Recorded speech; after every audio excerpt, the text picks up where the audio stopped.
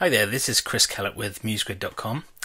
We had the release of Muse CC um, 6 or Muse 6 today, and I just wanted to run through some of the additions that have been made, some really great uh, additional features and updates.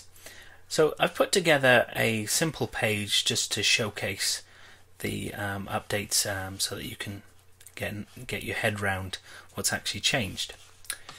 One of the main fundamental changes of the layout itself, uh, the panels, is that we have this new scroll effects panel. And if you saw Dani Beaumont's um, video earlier that came with the release, then you'll see that she talks about the fact that we've got this persistent scroll effects panel here, so that when you're working in um, adding scroll effects to items, you've got this panel here, so you can switch between um, items without having to go back into the effects menu, which could be a bit time consuming if you had lots of scroll effects on the page. So that's great.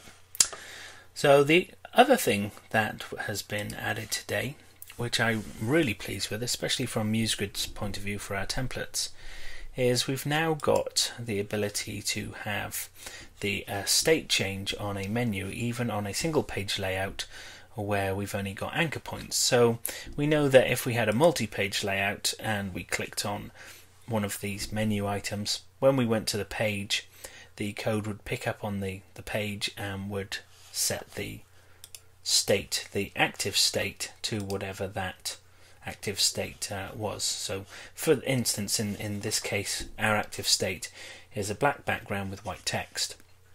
However, if you only had a single page layout, then that active state wouldn't actually show up because you weren't on a different page. You were just going to an anchor point. So they've added that too.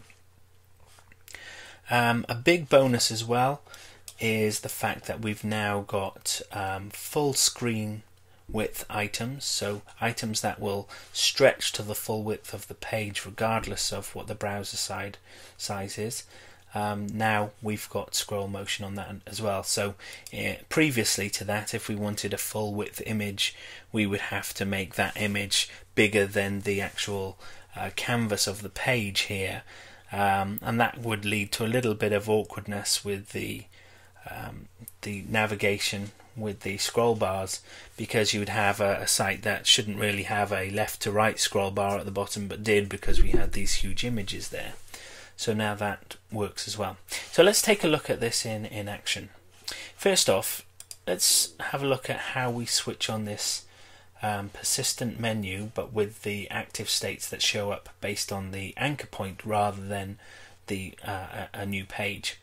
So if you've got a site that um, you've already created, you'll have to go and switch it on. So open that up, go to the hyperlinks button, click on the edit link styles here, and we can see this new option here that says enable active state for anchor links. So we tick that, click OK. That's that done. Now with regards to this scroll effect here, we've got an image with a background fill and we've set the fill to scale to fill.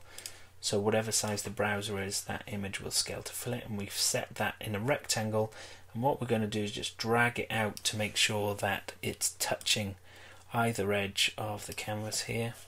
And we've got our animation set. So let's preview that in the browser. So we've also pinned this menu to the top of the page so it stays in place as we scroll down. Now as we scroll you can see we've gone past anchor point 1 and the word 1 shows up. We've gone past anchor point 2 and 2 shows up. 3, 4, 5 and 6 which is great news. So we can use that for all different kinds of uh, effects to showcase that we've where we are on the page. Now you'll notice that currently this uh, this isn't showing full screen. So what have we done here? Let's go back to that and see see what's going on here. So let's make sure that we've, ah, there we go. We haven't got the image touching the side, so let's make sure that's touching the edge there. Let's preview that again. Scroll down. There we have it. We have the image there, and you can see the scroll, can you see it sliding up over the top of the two there? So that scroll motion in effect there, but if we take this browser down in size, we've got the image rescaling to full width, and we've still got that nice scroll motion effect there. So those are some really good updates for Muse, that's Muse 6. So check it out for yourself and hopefully this has been a useful tutorial for you. Thanks for watching.